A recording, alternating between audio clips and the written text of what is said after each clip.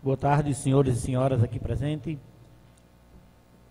Portal do Araripe, blog João Andrade, caros colegas vereadores, internautas que nos assistem, toda a região do Araripe e mais localidades.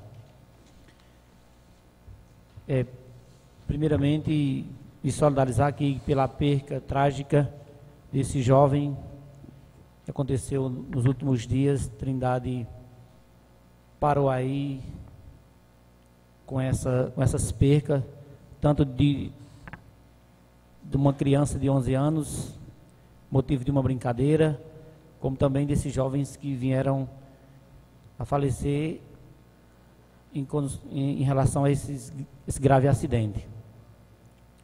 É, também deixo aqui a minha indignação em relação ao noticiário de Pernambuco, que cerca hoje o número de, de vítimas fatais em relação à violência que vem aumentando.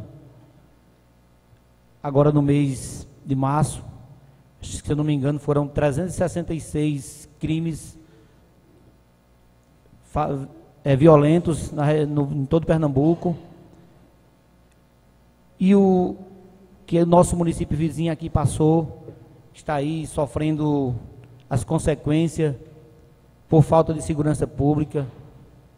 Isso é um meio de protesto, vim aqui e cobrar das autoridades competentes que vejam o que os munícipes de cada cidade do Araripe está passando com relação a esse número alto de violência, é, tanto de, de, de, esses, de acidente de trânsito, como também dessas violência por arma branca como de fogo.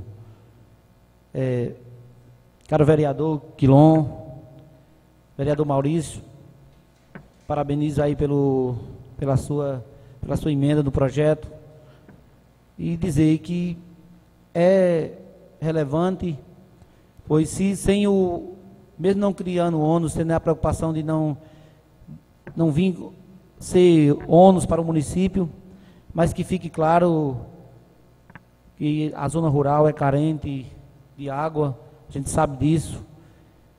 Está aí, a gente é abençoado por essas chuvas que caiu nos últimos dias. E mesmo assim, quando chega o período de escassez, o agricultor sofre. Se preocupar com a comunidade local é conveniente, é respaldo do vereador, da gente que representa esse povo tão sofrido. Mas também é ver que hoje o agricultor precisa de retirar sua água, ou seja, de uma forma ou de outra, das barragens públicas. Sendo assim, a prefeitura tendo, oferecendo o caminhão e, e, fiscalizando, com certeza vai vir as melhoras para esse pessoal. É,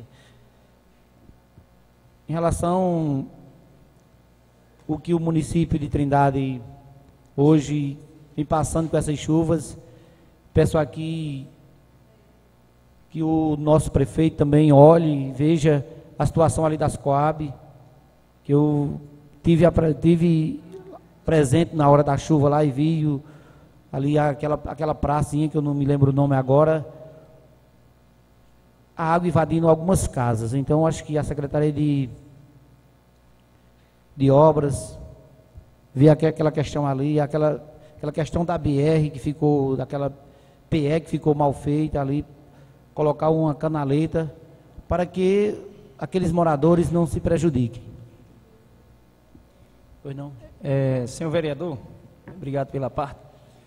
Senhor vereador, é, a gente falou um mês aí atrás que teve também uma chuva lá na Coab, aonde a gente falou sobre essa situação daquelas águas ali invadindo a casa do povo, inclusive falei até para o meu colega vereador que estava invadindo até a casa do pai dele lá, as águas tomando de conta.